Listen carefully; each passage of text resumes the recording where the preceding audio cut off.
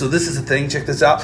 Max Lucado reveals he relied on alcohol to cope with pressures of life. So he writes a new book and in it he tells all about this. I actually really like Max Lucado. I've read a lot of his books. I think God has really used him. It's awesome. He went to his elders, he confessed, repented of what he had done, which is more than a lot of other people do. They get caught, then they tell people. He actually went and repented and they forgive him. I mean, guy was sneaking to his car with 40s of alcohol on the other side of town so nobody saw him and he was chugging uh, these things in his car, obviously really struggling. But here's the thing about it. We have to stop putting Christian celebrities and, and pastors and, and leaders on these pedestals. They're people, they're going to make mistakes on this side of eternity, and we have to put Jesus on the throne.